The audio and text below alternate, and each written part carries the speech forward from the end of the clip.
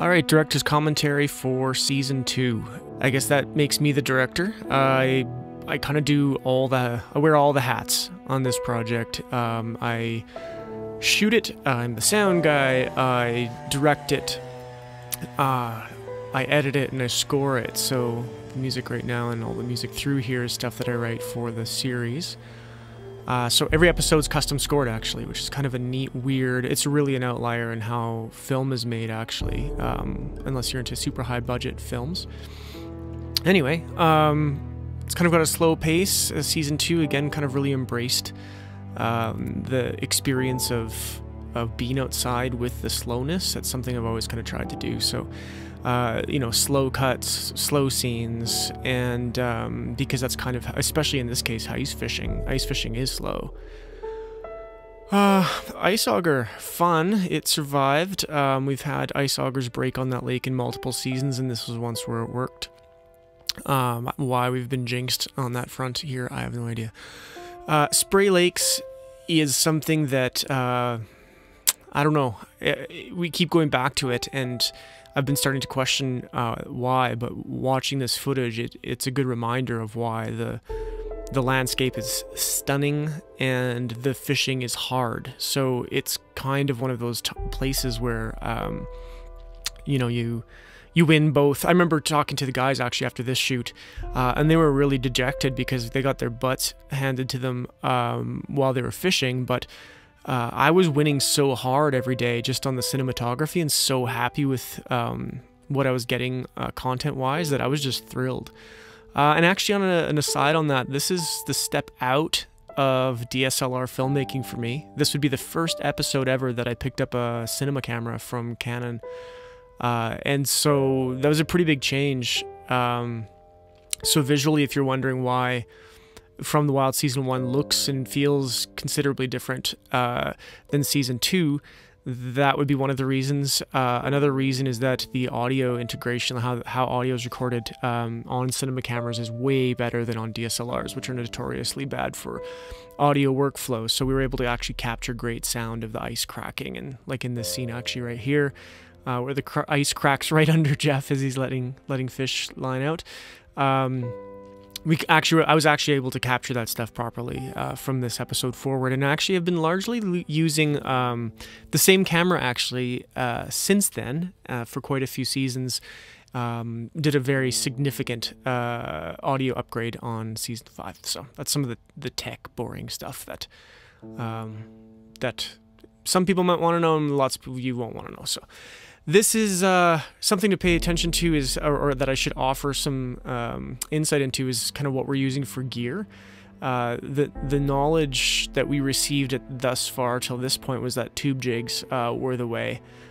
Ah, big pivot switch. That is a burbot dying, and um, up until this point in the series, we'd shown a lot of uh, bleeding animals and animals being gutted. It was really important to me personally to start uh, to show what happens when you're fishing and hunting after the the trophy rack shot, um, which is why kind of this this series was born to begin with, is to explore kind of what happens after that. Uh, field dressing, uh, skinning, and um, and the cookery, which is kind of what we've we've always focused on.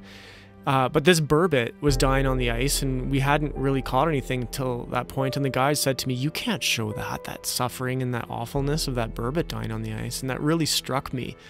That that's so not okay that uh, that we we let these fish suffocate to death over a very long period of time just kind of as a cultural norm of how you terminate the ice fishing experience once a fish is iced and that that's okay.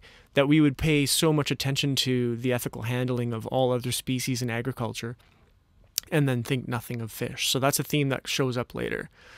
And there's a heavy lesson in what's happening right now with John on screen he had just gone we'd been failing a lot looking for walleye and stuff and any fish and he went to a, a, a, fisherman who was nearby and asked them point blank like hey you're having some success. What are you using? And um, they said put a minnow you're using a, a, white jig on the end of a, a jig head.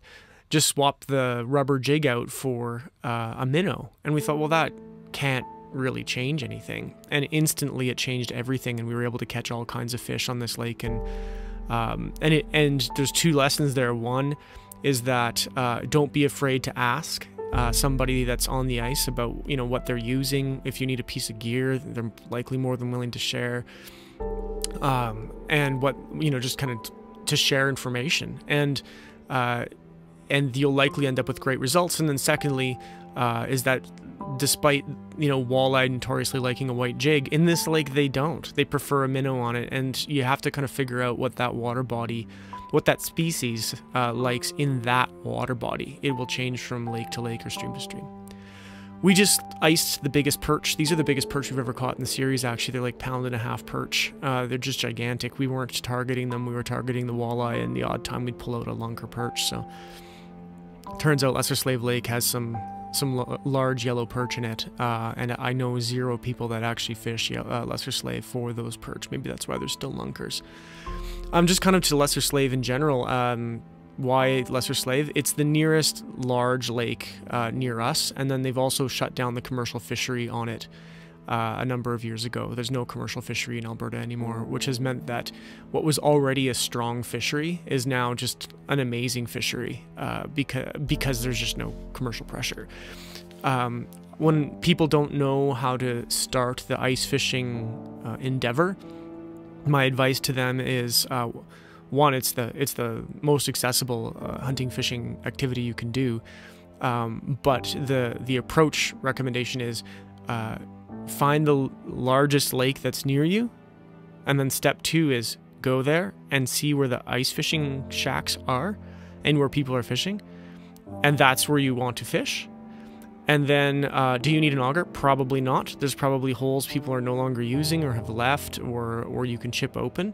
Um, and then if you take a look at the gear that John's using, oh, he's using a slip bobber, like that costs nothing or very little. And then the line and the lure, which is just a jig head with a minnow on it, costs very little.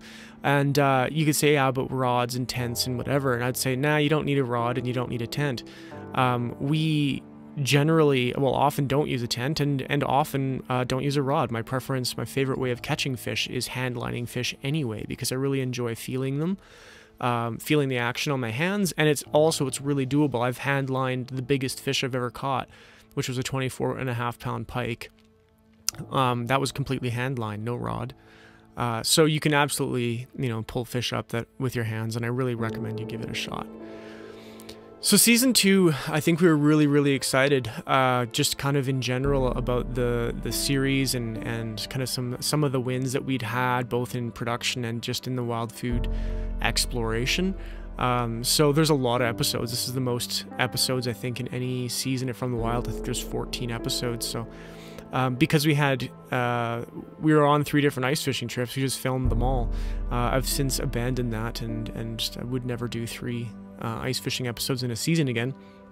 But uh, fun to look back on how different uh, Lesser Slave is. This is we're in Saskatchewan now, and the the waters there is clear. Um, Lesser Slave is murky, um, and we have traditionally had a lot of luck in Saskatchewan with just kind of fishing in general. Um, this was a fun trip. This was just me and John. Uh, Jeff wasn't able to make it on this one, and uh, we did pretty well uh, on this whole trip there's one kind of poignant moment. I don't know if it's in here actually, where I was actually frying fish. I had like we were having like I don't know, not shore lunch but ice lunch, and uh, frying fish and landing fish while I had the frying pan frying, uh, which was something I can't say I've done since then. Um, catching pike on rods again, and here here's a really gorpy setup. I wouldn't.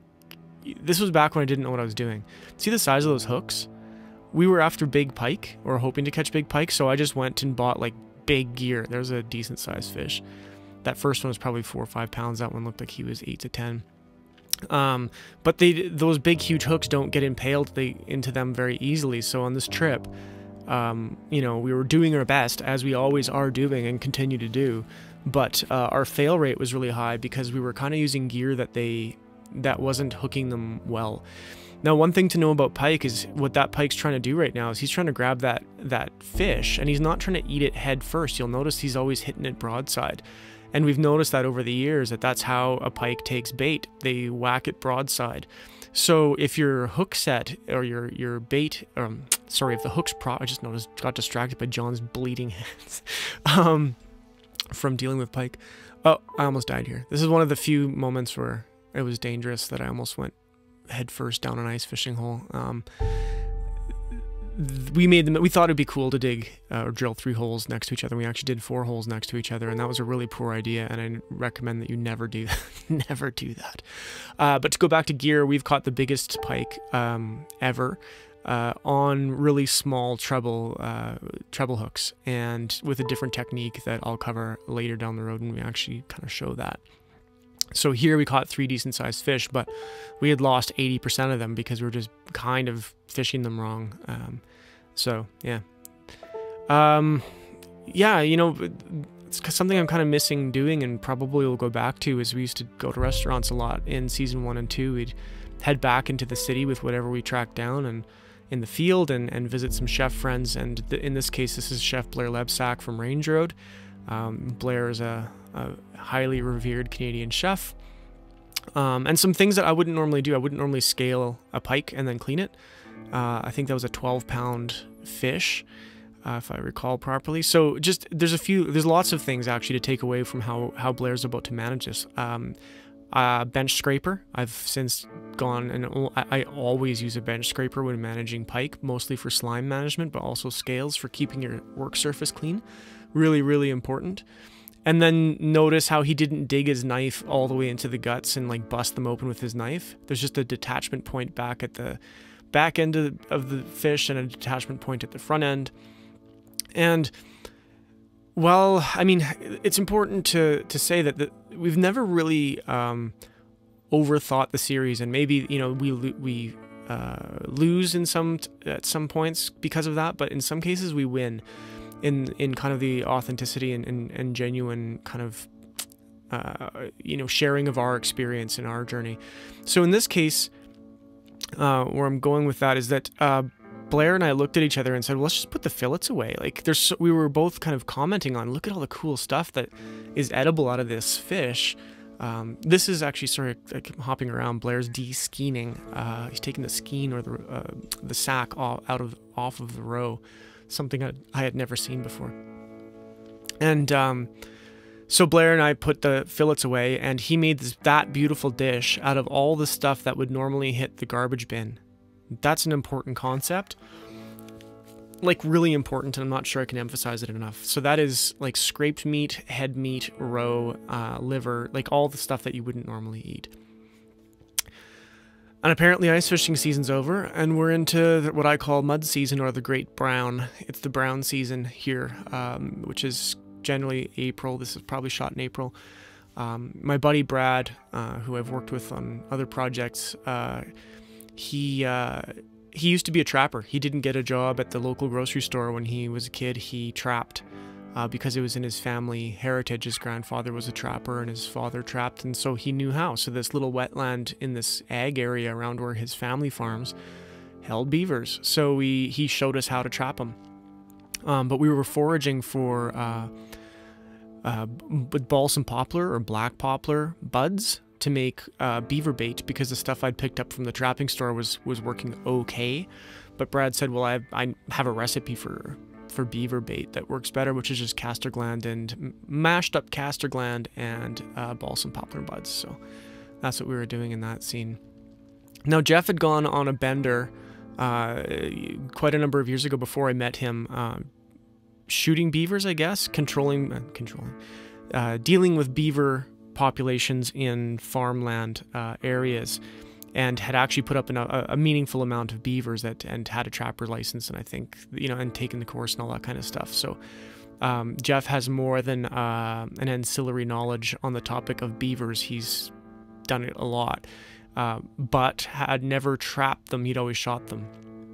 That's a castor gland. Those are dried up castor glands from a beaver. The castor gland is the stinky business uh, that you have to try and avoid getting into the meat part. But when you're making bait, um, that's what you want to use. In this case, these were desiccated like crazy, and that was not. Brad wasn't even sure if they'd work because they were so dry. Um, but uh, they're they're actually uh, very expensive. I don't I don't even want to guess how many dollars uh, those castor glands would cost. But it's I mean we're talking like I'm gonna guess forty to sixty dollars for uh, castor gland, and I could be wrong. Um, and there's value in beaver in a lot of ways in the pelt and in the the carcass for especially for bear uh, bear baiting guides. Uh, and then there's the castor gland, and so he's he's mincing up uh, a relic of an old castor gland that was hanging in the trapping shed uh, to try and and make that uh, bait that I was telling you about.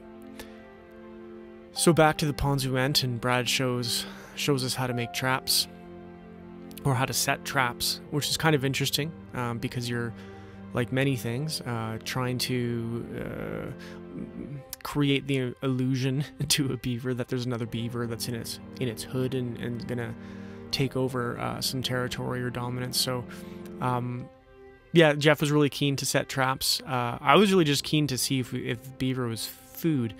Uh, ultimately, it's all cool to learn about trapping, but um, but uh, as you know the series is about food we needed to come to a, a time where there was there was beavers to eat. So um, you know that's always an uncertainty when you're out in in this kind of endeavor is can we even can we even put up food?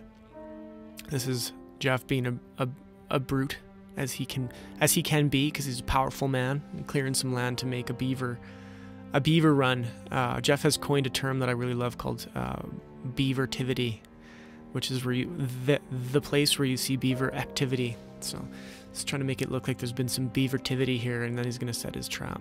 Um, I don't think we're going to get the, this far in the director's commentary, but the kind of the spoiler is that Jeff did catch um, trap his first beaver in this episode, which is really cool. Uh, so that was kind of a fun, a fun, a fun outcome for him, and um, you know, and just kind of a I don't know, a new, a new level up in in different methodologies of how you catch a particular species. So, uh, looks like we skipped ahead. That is a gallbladder oh, and liver off and lungs off a beaver. So that's uh, that's pretty interesting. Um, again, this was a really important component in my mind to from the wild is is not gratuitously showing blood and guts, uh, which I guess this exactly is um, it's more normal about normalizing and uh, yeah i guess that. Normalizing this stuff so that this this shouldn't be hard to watch as a meat eating individual. He's currently breaking the tail off the back set of loins and tenderloins on a beaver. And yes beavers have one have two sets of tenderloins and loins one uh, in front of their pelvis and one behind which is very not normal. But they are a, an aquatic rodent after all. Um, and the beaver tail was something that we've we've played a bit with. I don't know a lot about still to this day, but uh, we have cooked beaver meat quite a bit. Um, but anyway, blood and guts, trying to trying to make it, you know, not gross. Um, my kids have seen it and been exposed to it since they were little, little wee ones, and I just really wanted people to have an understanding of what, you know, how this this works when we take an animal and make it into food. Jeff looks like he's being disrespectful right now, or dis- disrespectful, but um, he's actually just marveling at how blobular and wiggly and that a beaver is, yet can be so strong to move a tree the diameter, you know, of I don't know, a big stump. So it's they're pretty remarkable little critters. All right, skipping ahead, we're at my wood oven in my backyard uh, that Blair and my stepdad helped me build a long time ago.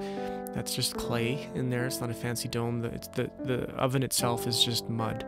Uh, the facade is brick at the front.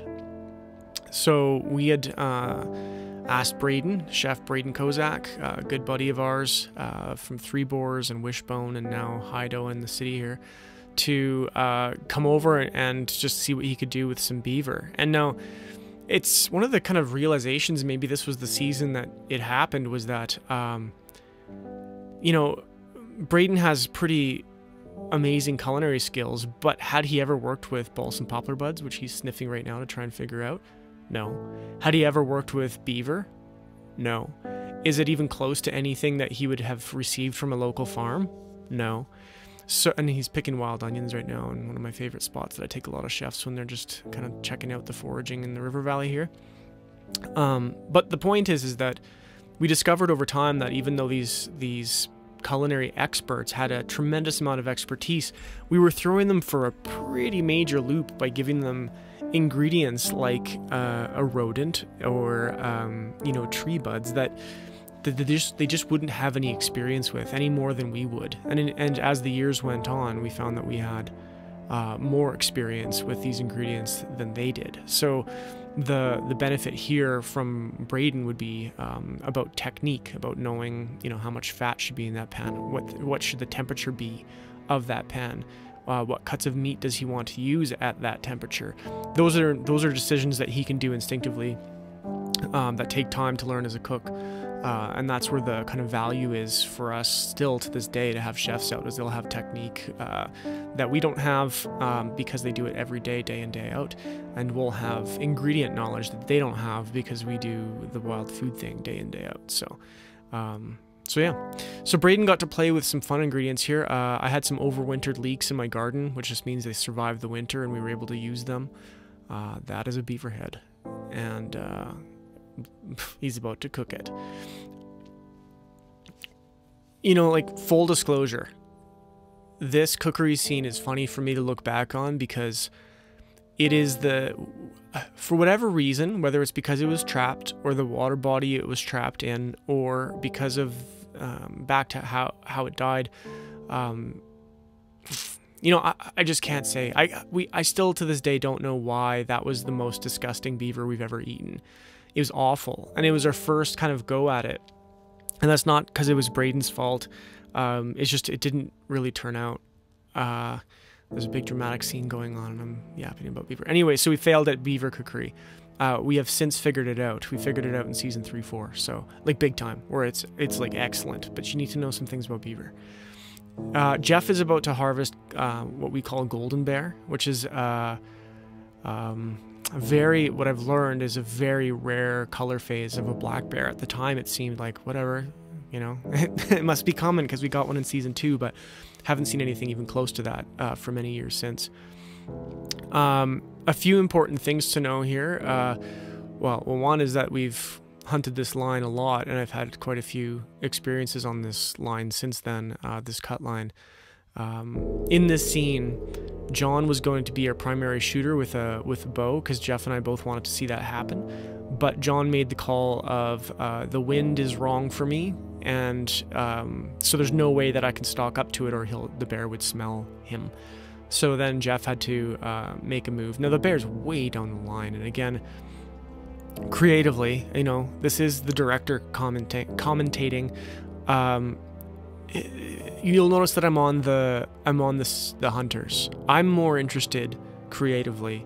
You can see the bears moving at the back of the frame there if you want to rewind it, but that that that's kind of the point. I wanted to see Jeff Jeff uh, the human and his experience, not the bear, the animal, and it dying.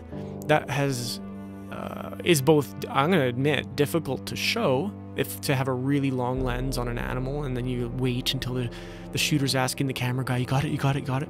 We just didn't want to go down that road ever. I and I didn't think that was the important story to tell. I knew it was difficult to achieve anyway, and and it's also more gory. I mean, you're gonna so there. Jeff just put a shell into a bear, and he just put another one into the bear, and um you know, did I want to see that bear recoiling in its injury and its death? Like, not really. Some people do. Uh, I'm just that artsy dude that doesn't, that never did. So, um, so there you go. Cameras on them, and it's really bugged some people that are viewers, and uh, they kind of wish that we showed that. And I, am just here to tell you, it's just not going to ever be the the focus of the show, is watching an animal get killed.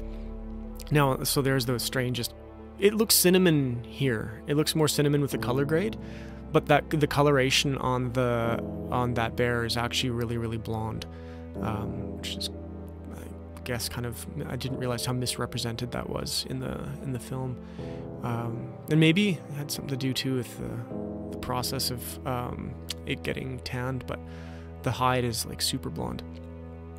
Uh, so yes, here we go. This is gory, but this is how you pull the windpipe and lungs and heart out of a big game animal. Like it's just this is how it's done. And Jeff does tens of thousands of these in his career um, every week so that people can eat beef and pork. Uh, so, you know, gory, yeah, sure, uh, relative to our sanitized uh, approach to looking at how we obtain our meat, but Um, you know, otherwise, no, he just did exactly what you do when you field dress an animal. And then they had to haul it out like a half a kilometer uh, just back to the vehicle. So uh, this was the most sensible method at the time to do that rather than to drag it out. Uh, so, kind of a rare. Uh, this was one of those uh, episodes after quite a f- shooting quite a few where we had uh, an animal down on day one. Um, really not, not the norm till that point. And really, I think the uh, if you've watched the series at all, and I guess you have, or you wouldn't be watching this and wouldn't be listening this far in, uh, the we've always had the kind of social contract with our families, uh, which has recently evolved way down the road. But back then, it was three days in the field and that's it. We're not committing any more time to the field production of the series. So to get something down, or a fish, or a bear, or whatever, harvested and put up a plate, we only had three days to do that, including our travel time to location. So um, something to kind of consider relative to you know slaying it or not slaying it or big animals or not big animals. We just were looking for food uh, within that time frame.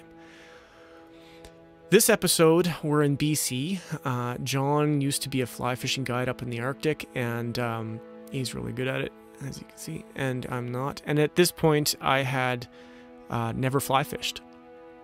And this is the exact stream and the exact location where I fell in love with it. Now, I didn't fall in love with it in the sense that I like, that's all I do now. I just love high fly fishing. I'm a hardcore fly fisherman. That, there's an entire like subculture related to fly fishing that I absolutely don't, uh, wouldn't associate necessarily with, not because I, I disrespect them at all or, or just, it's just, I do too many other things. I'm just not a hardcore fly fisher guy. However, um, this trip really did sell me on the beauty of stream fishing, I guess, maybe specifically. And also, I love trout. I love salmonids in general, so accessing trout in this way rather than through a lake uh, was really dynamic. It was fun. The water's moving. You've got kind of the audio sensory therapy happening, and I'm in bare feet, and it's lovely out. We're not on, you know, ice fishing in 100 feet of water. You can pretty much see the fish. and so John's teaching me how to cast, which, you know, it's taken me a lot of years to not be brutal at. Um, and then uh, yeah, and then I caught fish here, um, and I guess that's kind of what it takes to get hooked. Is just a little taste of success, enough that it makes you go, "Oh, that's cool! You can be in a place this beautiful, doing something this chill, um, and then actually catch something that is really exciting to catch. Uh, in this case, rainbow trout out of this little river. I think this is called Granby River, uh, way upstream and down by Grand Forks, down in southern BC uh, I was on a project. Actually, we were heading to see Jen Cockrall King to go sockeye fishing, which we're going to cover here. But um, this was kind of en route. I had to stop here anyway, so John and I uh, spent some time. Now that's that's forest fire. That ain't, that ain't cloud time lapse. That's forest fire. And this entire episode um, is, uh, you know, there's a central theme of forest fire. We were trying we couldn't get to where we were going. We couldn't go see jen because of forest fire to the south. We couldn't go west because of forest fire. Um, and we eventually got you know booted out of town. We were having breakfast at a place and uh, this lady who was our waitress was like you guys gotta get out of here. And so um, i guess this is it. We're we're booting it out of there and we had fires. The only highway out there was a forest fire there too. So we're hauling butt trying to get out of this area, you can see the smoke before the forest fire completely cuts cuts off all of the accesses to this part of British Columbia. And uh, yeah, so kind of a um, you know when we launch ourselves into the field of shooting episode, you kind of don't know what you're going to get, and uh, this is a perfect example of that in that we didn't know that we were going to get encircled by uh, forest fires. And there's some shots here I think where you get to actually see that um, on our way out uh, even though we were even though we were trying to escape it and there was ash on my vehicle uh, we still ended up passing right by the fires within you know we could point the cameras at it which was kind of scary but we did stop and, and point the cameras at the fire that was burning that was almost shutting down the highway. I think there it is. It's coming up here. Yeah there it is. So that's how close the we were to being in, in completely encapsulated by uh, a forest fire in this episode uh, shortest episode ever. Uh, for that reason, we just kind of couldn't see it through. So I think that episode ran into the 19 minute range, which was not what we were targeting. But so we're now after a very gigantically long detour. You can see the fires burning in the back hills uh, around uh, Osoyoos Lake. Uh, we're with Jen Cockrall King, a good friend of ours. And we're sockeye fishing with, uh, the fishery had been shut down, but we were with indigenous folks who were able to fish um, and show us around uh, the fishery uh, because they their fishery is managed differently than with than the recreational fishery. So you could see there's trawling boats back there. There was I was filming um, them netting uh, the sockeye as they come up all the way from the ocean, um, all the way in. We're like 1,300 kilometers or something like that. I'm gonna get that wrong, but it's over a thousand kilometers, I think, um, of run from the ocean to get this far inland that these sockeye come to spawn. And it's taken um, a lot of years uh, for a lot of people to be able to get them to a point where there's actually a fishery again uh, for both, you know, recreational, but also the indigenous folks that used to rely on salmon up in these these parts of the world. Uh, for a lot of years, there were basically no salmon, or or at least a, a very minimal amount. You'll notice he bled the fish that is a technique that a lot of the the pro folks do. Um, that is just again not in our kind of in our culture, which I wish it was as recreational fishermen. That's why we will advocate for it forever. The proper killing and handling of fish, um, much as you would any other animal. Um, so, yeah, I mean, bonking them on the head, we learned, I would say ice fishing is completely insufficient, especially with perch. I've seen them flop a day later out of the water. I'm kidding you not, where you think there's no way, how did that fish possibly survive? Uh, but they last a lot longer than you'd think uh, in certain circumstances. So I've really come to believe in uh, bleeding not just as a means of, you know, better, higher quality uh, of the fish proper, but um, actual just, um, you know, ethics of, of uh, ethical kill John's happy he'd never caught a sockeye to this point. Um, John, again, having been a fishing guide, has caught a lot of fish, so he was pretty keen to run the gear. Uh, we are both quick to to criticize um, downrigger trolling with a guide because, as a fisherman, you really don't do anything. You really just reel in the fish with the kit that your guide handed you once he hooked the fish and found the fish and did all the work to get the fish. So John was really keen to like actually run the downrigger gear and and and learn because um, otherwise it can be a pretty boring experience. Uh, and we've kind of I've I've since switched to to mooching gear for uh, all kinds of salmonids in this instead of this style of, of fishing, which has become kind of the norm. I grew up um, what's called mooching and and uh, and then downrigger fishing became popular probably 10 or 15 years after uh, I started fishing for salmon, and then uh, and then I, I lost interest and only recently figured out why. Um, but it works and it's easy to control your depth and it's easy for guides to be consistent and get results and that's kind of you know the point I suppose. Um, I would just challenge you as a fisherman that if you're using this methodology that uh, you know I'm if you're not aware of mooching um, you know maybe give it a try and uh, it, I think a lot of people agree that it's a pretty fun way to go. And we'd escaped the forest fires to get to Jen's, but uh, the the Okanagan Valley was burning at the time, so um, we were we went from forest fire to forest fire to forest fire on this trip, which was really weird actually in hindsight. And thankfully, we haven't seen another season like this uh, since. But um, but it made for it made for a memorable trip, and uh, we did really well with the sockeye. I think we caught our limit. It's one of those things that you do once you find the I don't know if there's a couple hundred thousand fish down there uh, in a gigantic school um, once you lay into them, you know, it's not hard to catch a few and, and be in and out. Now, as far as cookery, um, I do a lot more cookery now. Uh, I did a lot co less cookery back then, and uh, we had the opportunity, uh, which was kind of really uh, rare. And we, this is, I think, the only episode we've ever done it. Uh, the indigenous folks that we were meeting with, we had the opportunity to have them show us how it was done by one of the older knowledge keepers in the in the community. I mean, there's a lot for me to say about that. I mean, it's it's an honor. It's an honor to have his knowledge shared. But there's a lot that's hard to communicate regarding. Like, uh, I get asked why we don't have Indigenous people on the show more often, for example. Uh, one of the reasons is because I'm a firm believer that Indigenous folks should be telling Indigenous stories. Um, uh, that took me a while to kind of come around to, but I really do get that. Um, and as uh, you know, a white dude, it's pretty uh, obvious to me that uh, I can be respectful and, and uh, interested and keenly interested and have my heart in the right place, but ultimately, uh, these are traditions that are, um, in some cases, closely held and um, and kind of no matter which way you dice it, should be left up to the up to these people to to share um, their knowledge and stories. So.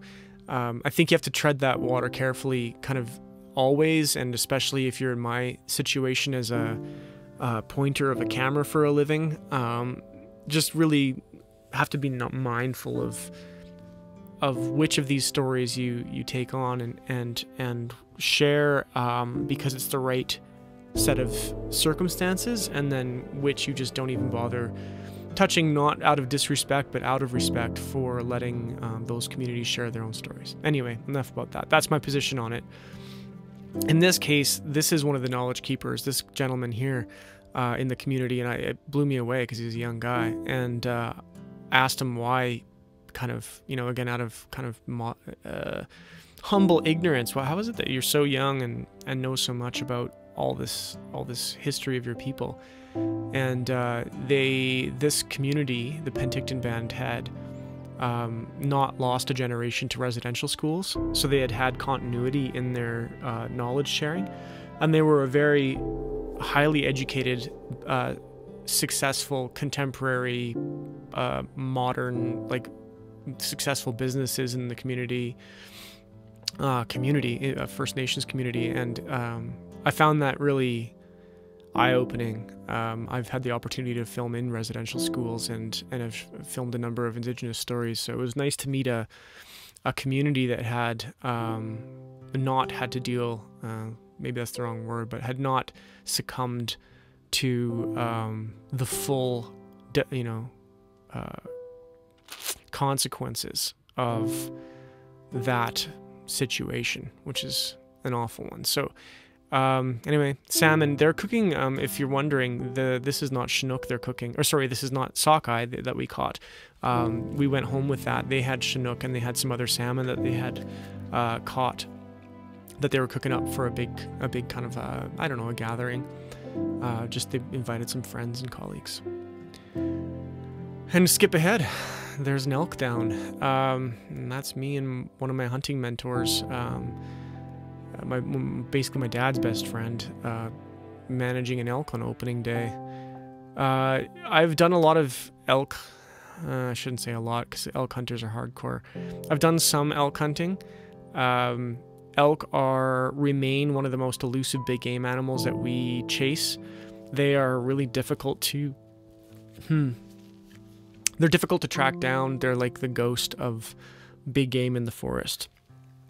I've now that said, we're not calling. We're actually just walking in on them and interception hunting them here. Um, I would love to spend some time calling at some point in the future.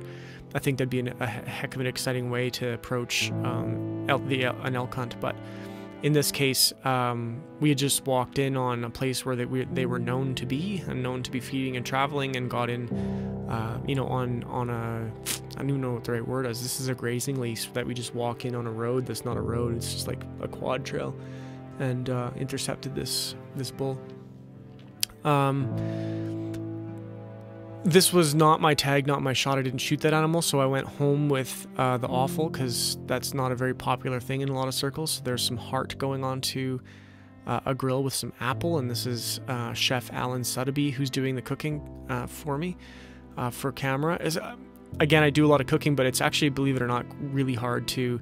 Of all of the parts of the show to produce, cookery segments are actually tough because there's a lot of shots and there's a lot of steps, and if you miss any you know any of the key steps, it kind of becomes disjointed. So I would say, um, you know, the the post production on cookery segments is tough, and so and shooting them is not easy either. So if I can have somebody else do the cookery, that's that's a lot easier for me. Uh, lately, I've been choosing to do it um, myself a lot more, which is which is hard, but um, getting better at it slowly. Uh, so again, uh, Alan Suddaby, that was heart. He pulled it off um, on the rare side. I'd recommend if you're grilling heart, you don't cook it all the way through. Uh, he's making a gastrique out of some honey and some apple cider vinegar, I think, from my cider production. Uh, a gastrique is a culinary thing that you, I'd recommend you try if you don't know what it is. Um, it's it's kind of a sweet and sour vinaigrette hot thing. So there he is adding the vinegar. Um, and I guess I've just described what it does. It brings kind of that sweet and sour vibe to uh, to a savory dish really quite easily. So he's just finishing the pan uh, in that way. So again, it's called a gastrique. It's a French term. Uh, I've I've compared it to like a, a hot vinaigrette, but I would I've had to kind of check myself on that. It's not not exactly. It's it's really more about the sweet and the sour and some savory. This is Alan foraging for some horseradish behind my garage in the back alley, and uh, there's an underappreciated uh, wild food uh, that that does grow wild in a lot of our province, and I know a few spots to find it, but um, but it certainly doesn't get used to the extent that it should. Uh, you know, you think about how ubiquitous um, wasabi is in Japanese cuisine. Oh, I gotta stop. Look at the doneness on that. That's your target right there. Alan nailed that. And while that might look too rare to you if you don't really love rare meat, I think you really, with heart, you really need to try it that rare. Um, and you'll you'll see what. Maybe a bit more than that. Okay, I'll admit that maybe that's a bit rare, but um, for somebody who's averse to rare. But if you can handle handle it, that's a great way to eat it. Um, sorry, I got sidetracked. Uh, sweet, sour, savory, gastrique. Not some. There it is. There's the gastrique going on, uh, and nodding onion going on at the end. That was a good dish. And apple, roasted apple, and horseradish. So yeah, ubiquitousness of of wasabi, um, the ubiquitousness of chili in so many uh, cuisines, and in North America, or at least in Alberta, we have horseradish, which is completely, in my opinion, it's not even like a, a compromise or a we, you know like we have to make do with it. It's like horseradish is great. So uh, we need to we need to use it even more. But I mean, I think people in general need to use it more. There's Hank Shaw shooting shooting birds, and man, that guy's one heck of a good shot. He's can't really see, but he's laying down birds as he's shooting there, walking them up. Um, we're down in the grasslands. Uh, this is Hank's first visit. There he's shooting ducks. Boom. Um, Hank's first visit ever. I'd known Hank. Uh, fun fact is that I, uh, when I started blogging way back, long, long time ago, uh, Hank was one of the com first commenters or, or, frequent commenters on my blog, and I remember um, way back then he was a political journalist. And I remember people saying, "Oh, Hank, you should, you know, you should have a blog." He was like, "No, no, no." And then look at him now; he's like a award-winning, multiple book author in the wild food space with an extremely act. Where all he does for a living is wild game cookery, uh, recipe writing, and and um, and kind of living in this kind of a similar space that I do. It's just I do uh, moving picture, and he does, um, and he forces me to drink Molson Canadian on camera. He he, he required this scene. He's like, we have to do this. I was like, oh my god, you were gonna do this? It's embarrassing. It's crappy beer, made out of high fructose corn syrup and rice, probably. But anyway, um, we had spent some time in the grasslands uh, to shoot some waterfowl. So we have a waterfowl episode in this season. Um, but we ended up uh, not butchering them there. Oh, no, we did butcher them there, but we needed to cook them here uh, back up in bush camp.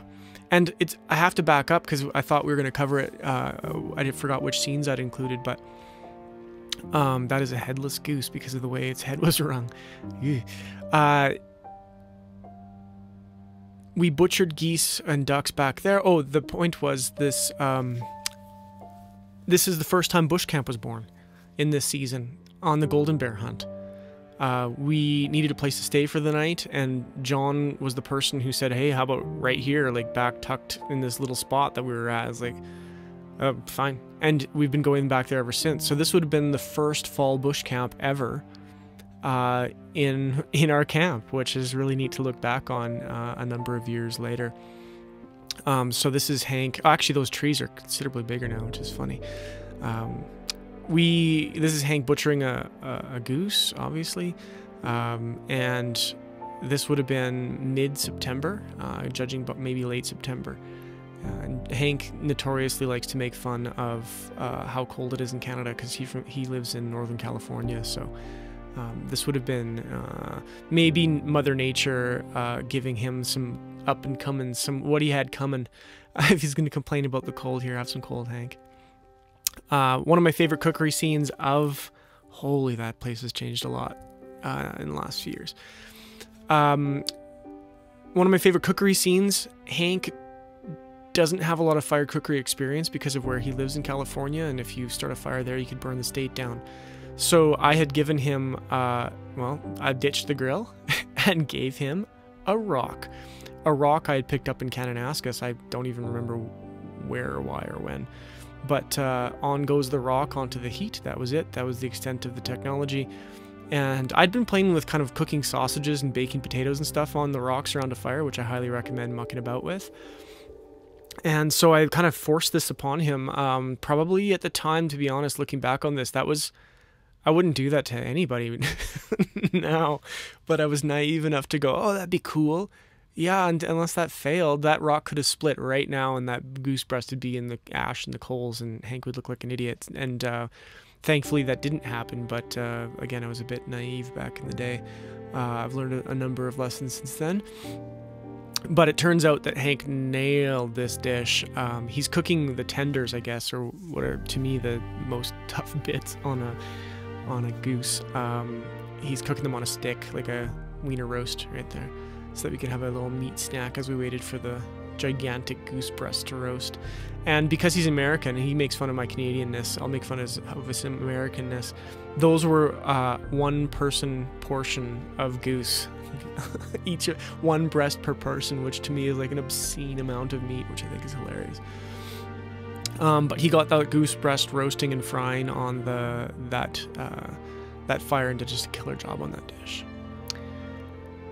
Uh, the reason we were in bush camp was to shoot this episode. Uh, this was a grouse hunting episode, and I knew that Hank was really good at grouse, uh, and I wanted to learn some things. One of the funny things that we addressed in the episode that really sticks with me is that uh, my entire hunting experience until I was about 30 was shooting grouse with a. Like, that's all I did is hunt grouse primarily and we shot them with a rifle with a 22. And Hank's reaction was was shock and dismay because in most of the United States, if not all of them, it's illegal to shoot a grouse with a with a rifle. And they use shotguns.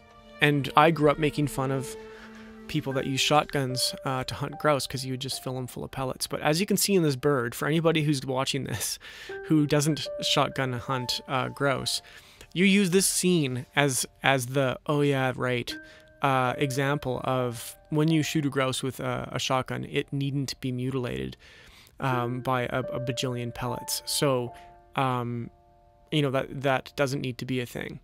Look at that grouse breast, how cleanly Hank plucked that. He is uh, exceptionally good, and I think in this in this episode, if you're careful to his words, pay attention to the words of like take your time, uh, when you're plucking a grouse because their skin's delicate and you'll wreck the crap out of them.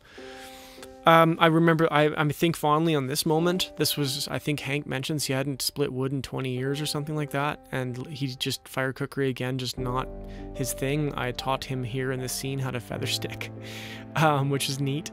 And uh, so this was kind of like a, a really rare opportunity uh, for Hank. And, uh, you know, Hank's been with us a few seasons now, or on a few seasons. And I would say if there's one thing, I think Hank would agree, that marks our experiences together is that they're usually putting him in very uncomfortable situations.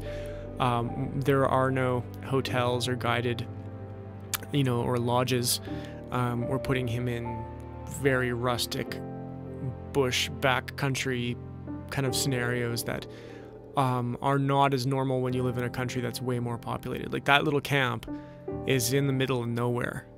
And speaking of the middle of nowhere, we skipped into kind of the end of the tail piece of, of season two, which is uh, a trip to Sweden. Um, couple episodes here. This was an intriguing uh, scenario for me, especially at the time I hadn't traveled as much as I have now for work. So being in Scandinavia to hunt uh, moose was really, really, really weird. Uh, just everything, including the fact that the guy's walking with a dog, um, really unusual. Uh, they're using technology, and you could see the wire on the dog uh, to track them, and the dog will find a moose and then. Uh, you know, bark at the moose, and that's how you know kind of where it is. And if the dog just kind of stays in one area, then you go and find your dog and shoot the moose. So, this was a technique that they used at the end of their hunt. Uh, we got to push bush with them, which is just walking through the forest with a large group uh, prior to this. But um, hunting with dogs is something for big game is something that we just generally, uh, well, it's illegal in Alberta, and I actually just noticed that the regulations changed a bit on that uh, this year. Um, in some specific areas for some specific type of hunting activities, but uh, here it was just really commonplace and normal to hunt uh, big game with dogs. Again, really a kind of an eye opener. Another eye opener is everywhere we walked, like in that scene, I was with uh, this gentleman who is kind of hosting us. Um, there's berries everywhere. I can't believe the berry scene that Sweden has in this part. We were in Dalsland. Um, and all of the plants and all like just so many aromatics and so many berries and so many mushrooms and lots of foraging to be done in Sweden because they have, I would say, on the whole, uh, more humidity than we do in Alberta. And again, I don't know this to be the case, but they have a lot of lakes and they're kind of surrounded by the ocean a lot. But compared to, again, being as far inland as we are and how little lake action we have specifically in Alberta where I live. So, um, yeah, really cool opportunity to, to go hunting in Sweden. Why are we in Sweden? Uh, he's about to put, he's got his scope on a moose running through that scene there, and he didn't pull the trigger because they had already had their limit of bulls. If it was a cow or a calf, he could have pulled the trigger and shot it. And in Sweden, to get a license, you have to be able to shoot a moose on the run like that. They put them on railroad tracks. You should Google that. And uh, they put them on like a yeah a rail, and then send a moose silhouette going through the the bush, and you have to be able to have a certain shot placement, is my understanding. Um, on a moving moose target to be able to even get a moose license. All very cool. Uh, I don't blame them for doing that, especially if you're going to hunt them that way, where you're pushing the bush and the moose are on the move. We're pretty used to. If I'm, I'm going to shoot a moose, it's because it's, it's, it's standing still at the time. Um, we're in Sweden. Oh, this was a touching scene actually. Jeff got to hang out with a bunch of um, Swedish folks uh, butchering. I think they had six moose to break down, um, and Jeff just got to kind of hang out and chat butchery with them, which was really really lovely to be uh, the facilitator of. Um, and this is a, a neat scene about kind of his this gentleman's grandma's kind of cookery with marrow, and that marrow has kind of become a uh, a lost culinary piece. And we had already done it in season one, so moose marrow, Swedish moose marrow, season two. Um, why in Sweden though? Uh, honestly, it's one of those internet related relationships I have or had at the time with a gentleman by the name of uh, Johan uh, Postma, and he had a, a, lodge in Sweden, and it was one of those, hey, you should come shoot something here sometime kind of offers, and and the craziness of me just taking him up on it. Uh, so I flew Jeff and John out there, and we had just kind of a crazy week, um, just you know, hanging out with hunters, foraging, fishing, and and um, uh, dealing with moose and, and roe deer, and it, it was weird because I wanted to go there and explore the differences in the cookery of moose. That's kind of what I was after. I thought, oh man, they must do some different things. And they do. They do tacos and meatballs, Swedish meatballs, and things that you wouldn't be, you know, be surprised about when it comes to ground moose meat.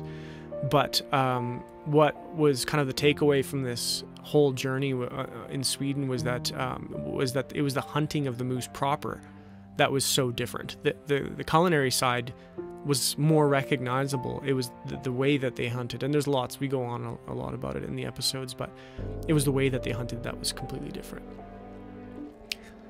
This is an iconic uh, moment for the three of us who are pretty core members of this series. Um, one of the highlights of the entire series, and it, I, and I can't exactly calculate for you why.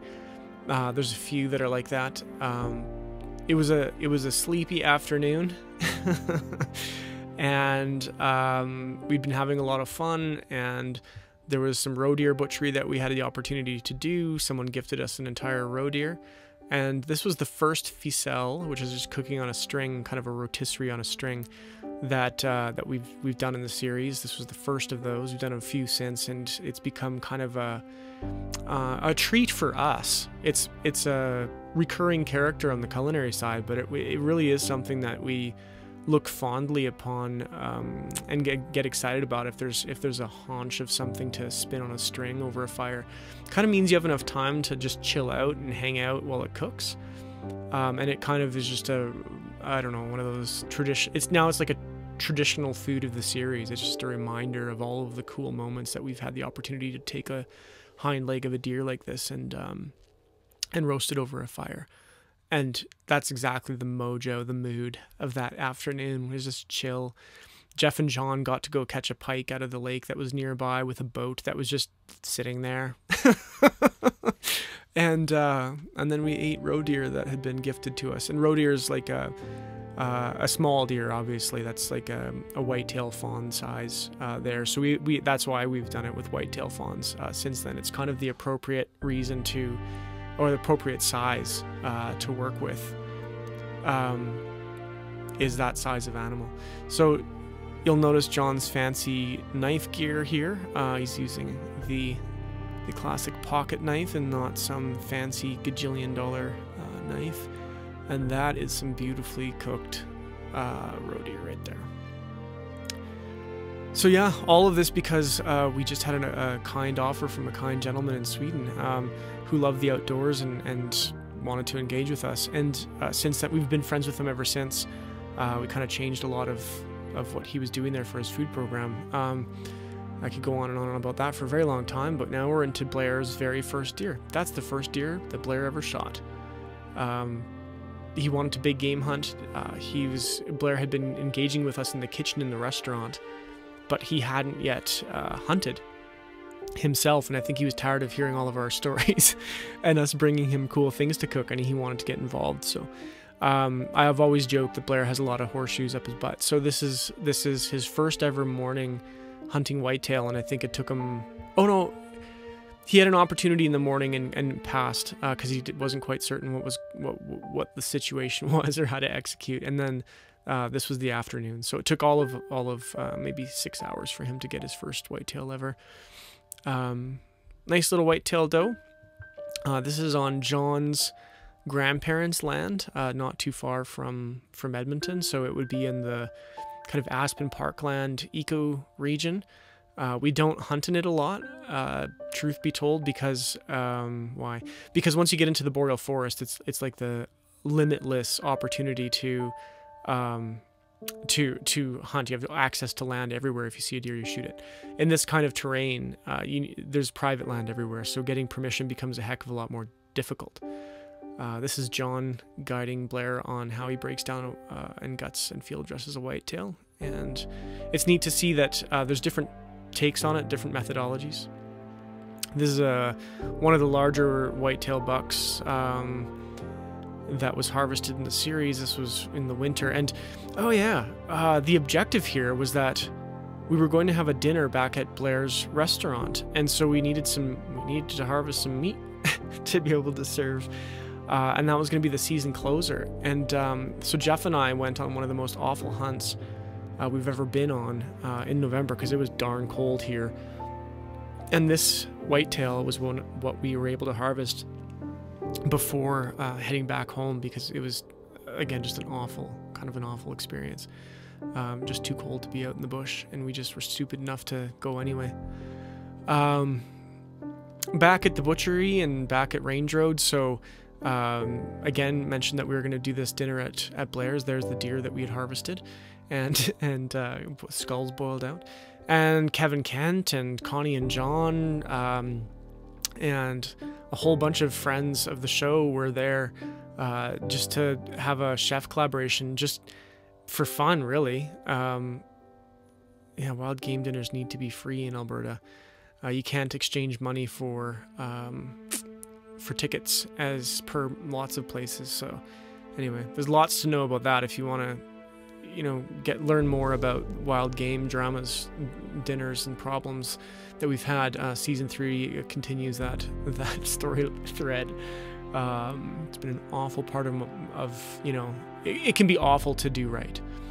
Uh, that's Connie and John's Whitetail Meat Pie. Um, they were with us in the next season.